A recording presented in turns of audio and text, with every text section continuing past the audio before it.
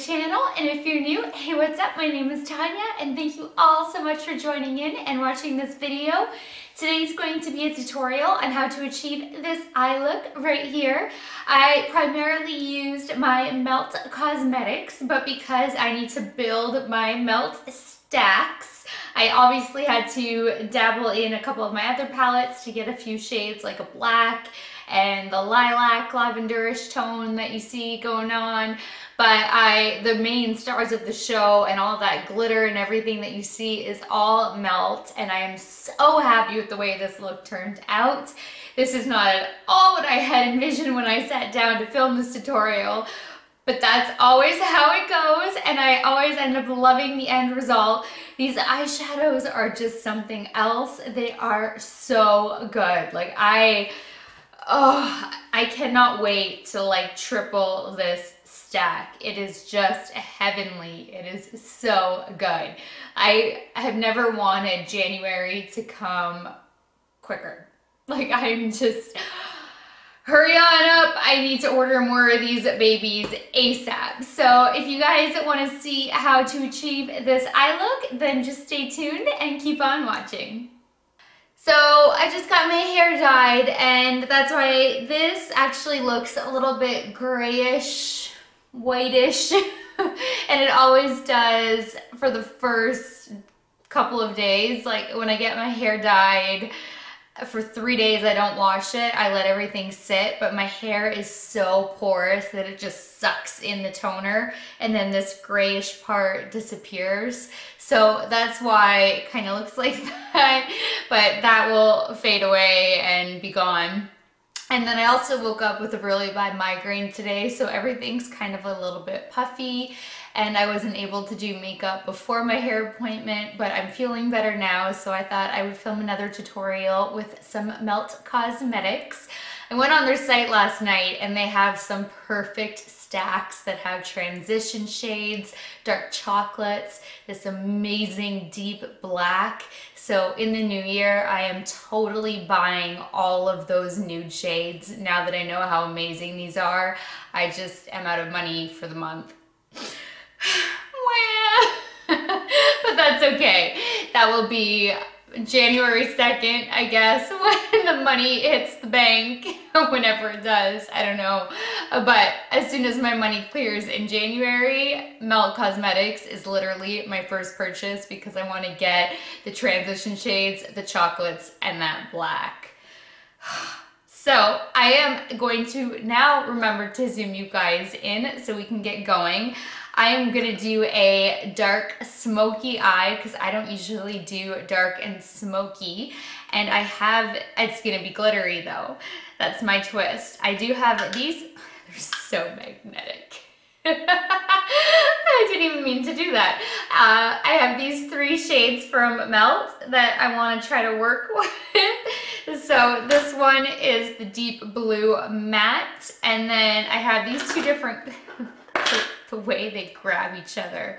Uh, these two different shimmer ones. So the bluish one is gunmetal and then industrial is more of a silver base but I have no idea where this look is going to take us as usual but those are the three stars of the show from Melt but I am going to be using my Natasha Denona palette and using some of these cooler toned shades to start my transition shades because, I, like I said, I didn't buy a bunch of Melt Cosmetics because I had no idea what to expect, but I will be getting more next month. So let's get this look going. I actually got the Sigma Tapered Blending E40 brush for, for sale as a freebie in one of my purchases. I got a whole little kit, so I'm going to put this little brush to the test And I'm going to dip into this taupey color and use that as my first transition shade. This might actually, oh no, it's good. It's gonna be, say a little bit too floppy and it is a little bit floppy. I think I like my Morphe better for this process. But I do want to try these little brushes out, see how they are.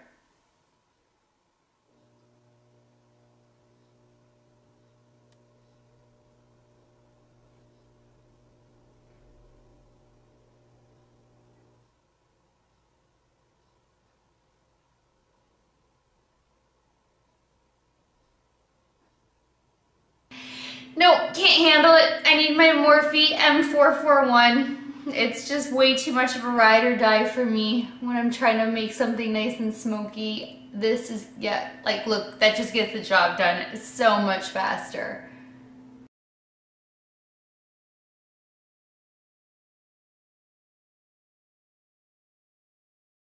I'm gonna take this blue, first time using it with the same brush, and just sweep this on the eyelid Oh, this is so pretty. These are so pigmented and not patchy at all. Ugh! I so wish I would have purchased more shades when I had the money. Makeup addiction problems. but if you're watching this video you guys get me. I just can't believe that even blue doesn't have fallout. I know the red was shocking, but the blue is just as shocking. It's just crazy. Okay, I'm gonna take a Morphe E17, which is a little bit more of a dense brush, and take Industrial and swirl that around. And then I'm gonna spray Fix Plus on it. I need to change hands actually. and then I'm gonna start this one on the inner corner.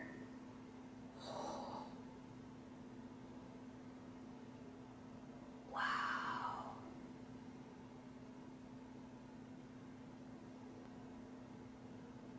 That is so pretty.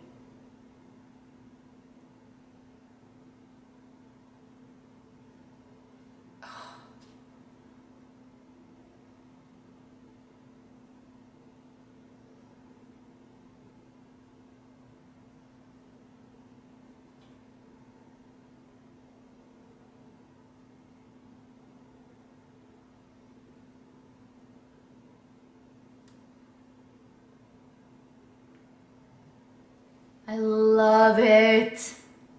Now I'm going to take Gun Metal and do the same thing and swirl my that same brush around in that and spray it with Fix Plus. And now tap the middle. Woo!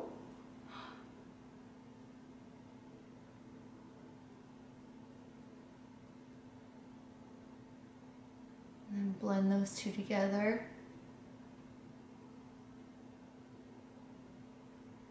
See, I want to make this end part with some black shadow. And unfortunately, I don't have a black melt yet. Now taking a little makeup geek that is made for the outer corner. I haven't used this yet though. I'm going to take just the plain black Anastasia eyeshadow since this one was a fail. Not that this would go with the look, I'm just reminding you guys that that one was a fail. So I'm gonna take, whoa, that looks pigmented. I Haven't used that yet. Put this in the outer corner. And drag it outward too.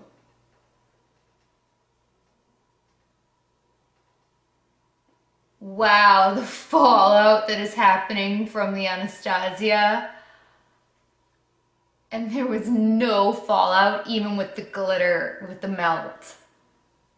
I mean, I know this is black. I can't wait to get black in from um, melt and test that too. But I mean, if red and blue had no fallout and the glitter shimmer shades have no fallout, I bet you their black won't have any fallout.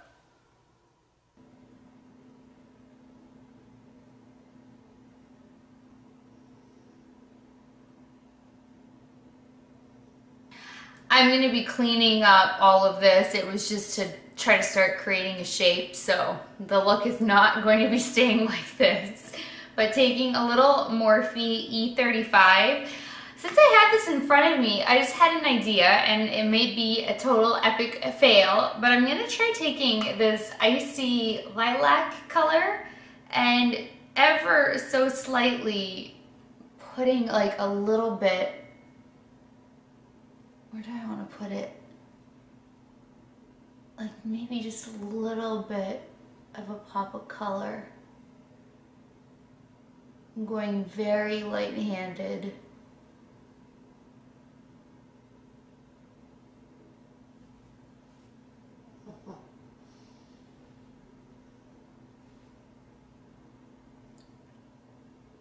And this will blend in nicely anyway.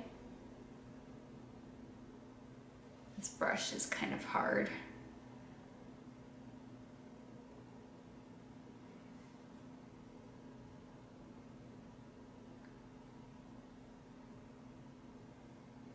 Yeah, I think that'll be a really nice pop of color. I might just need a different brush. I may have missed this one when I was cleaning them and there may be like dried glitter adhesive on here.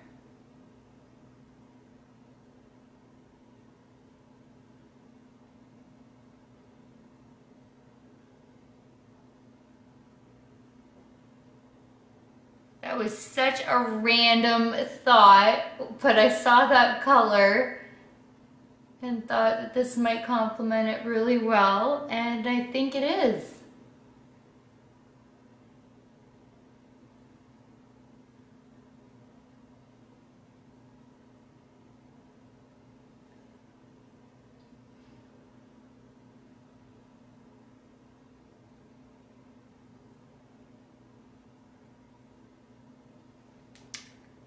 Awesome.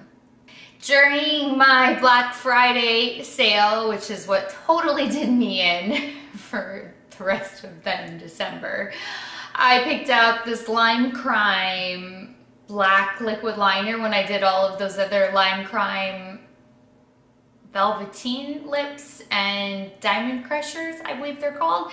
And I haven't actually used this yet, so I'm gonna try it out and start with lining in the center the way I always do. And if it's terrible, I will switch it out. Oh, I jumped up and I hit my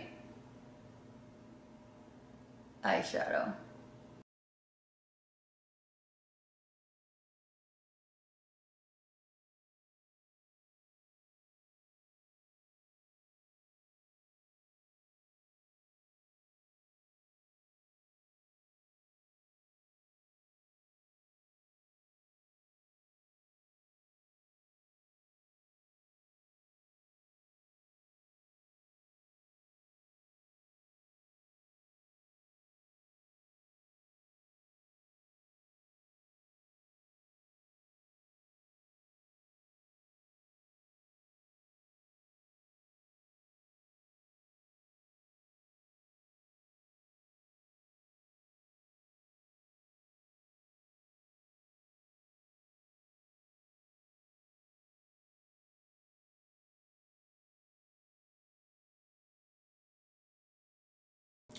I don't know how I feel about this liner.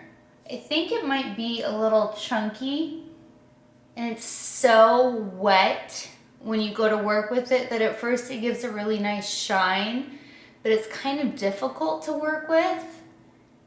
And now it seems to be creasing.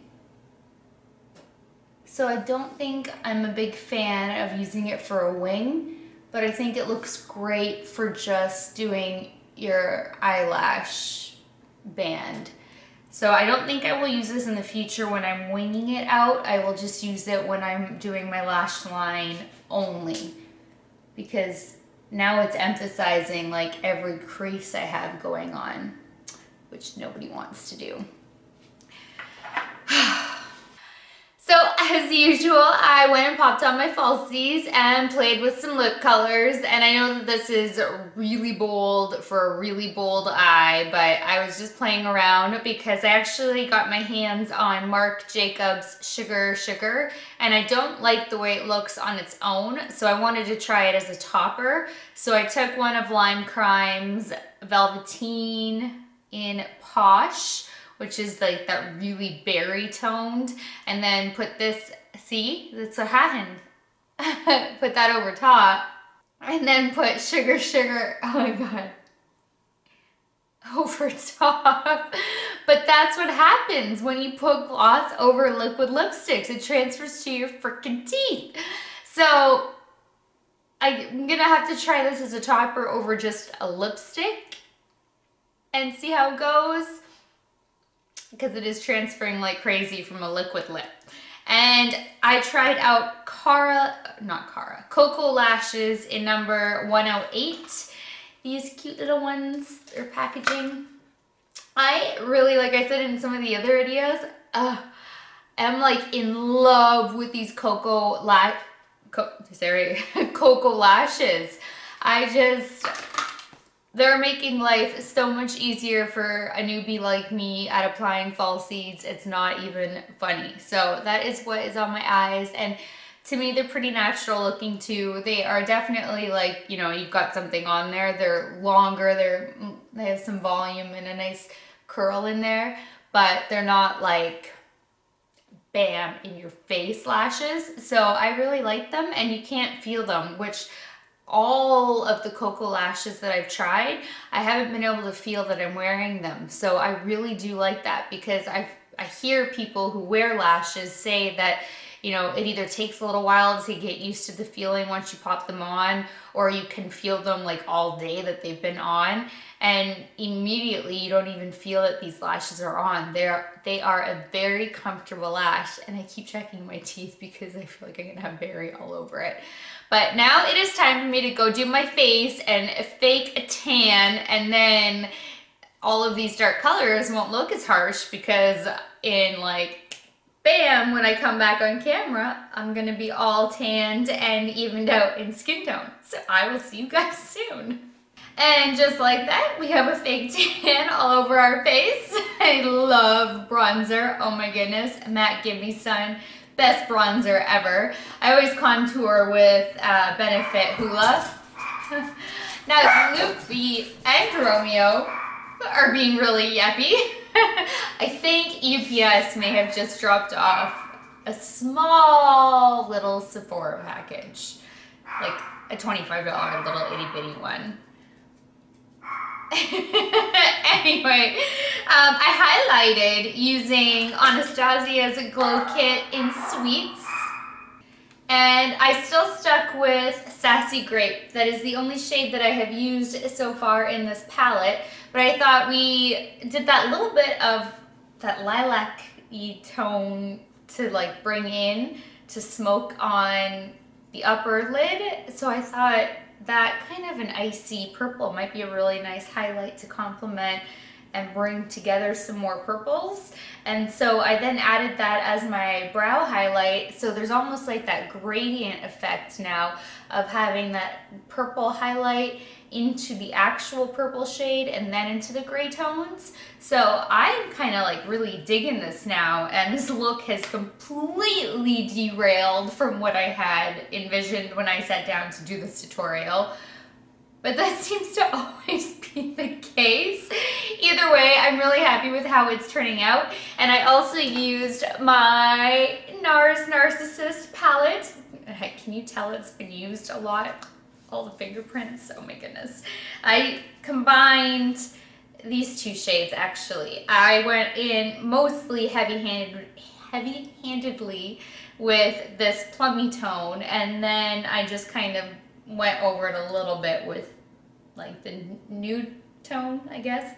I don't know. I, it turned out really nicely when I mixed those two together. So that is what is on my face for blush and highlight and you already know my lips. And I guess I will zoom you guys in because that's all that I have left to update you on and we will finish up the lower lash line. I tightlined using, actually today I didn't tightline using Urban Decay. Today I tight lined using that Lancome Drama Liquid Pencil in Extreme Longwear Eyeliner Noir Intense. So that is what I tightlined and water lined with.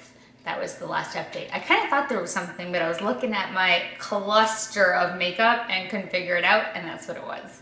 So going in with the blue, I'm gonna take my Sephora Smudge Pro Smudge Brush number 11 and just smudge the blue all along the lash line. Let me get back into the frame. It would probably be a good idea. I always do all of the majority of my editing and then I get Kurt to just look over everything in case he catches something that I missed. And then sometimes he likes to put in his two cents. And every time I go out of frame, he just looks at me. And I'm like, I'm concentrating. It's not my fault. Like, if you want to be in here the whole time I'm doing a tutorial so you can direct and watch the monitor, so if I go to frame, you tell me, you go right ahead. He doesn't want to take me up on that. Now, big shocker, I want to deviate from the plan. I was going to do all of this in a really smoky black, but now I want to try to smudge in gunmetal on the lower lash line and see how that is because at the end of the day, this is still a holiday season and we have New Year's coming up and I just, I want to have sparkle. So I'm going to do some sparkle.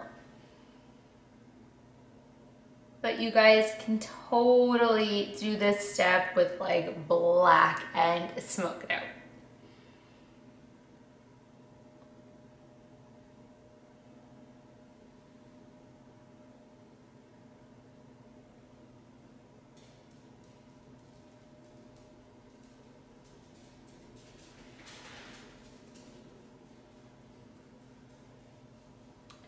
This why it takes me two hours to film a video.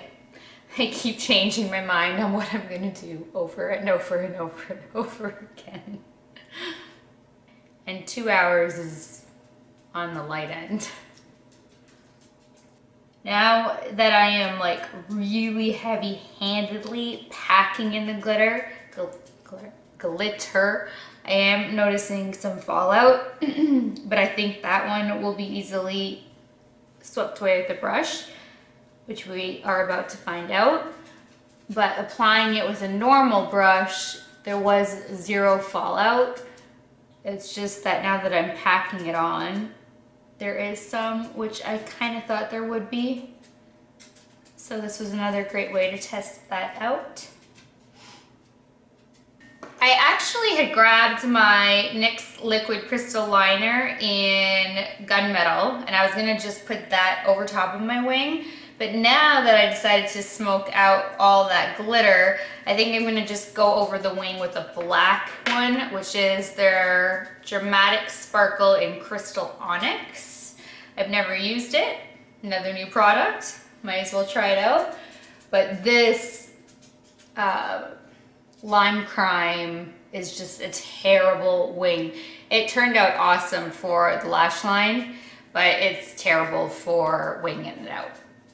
I just noticed my eyelash is starting to lift, so I'm going to fix that and then we will do the wing. All right, I think I got that sucker to stay down. so now this stupid lumpy liner from Lime Grime. Let's see if we can cover up all that with some glitter.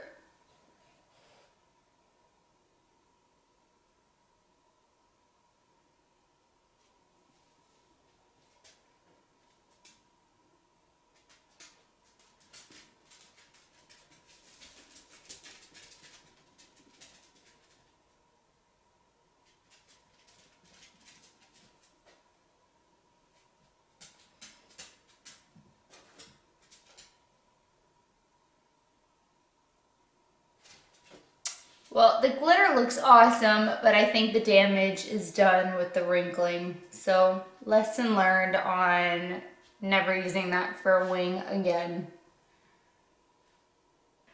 Let's see how it's glitter.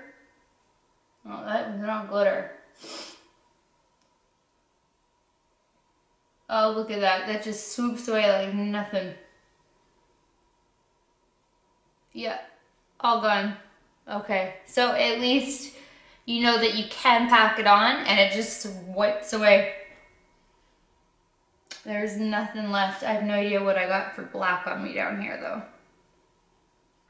See, I had this really fun purple that I was also wanting to play with, but that's too much. So I will leave it alone because I think that this would be really bright.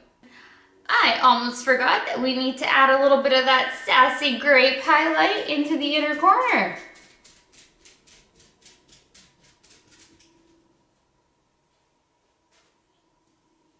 I was looking at it like there's something missing from this look and that's what it is.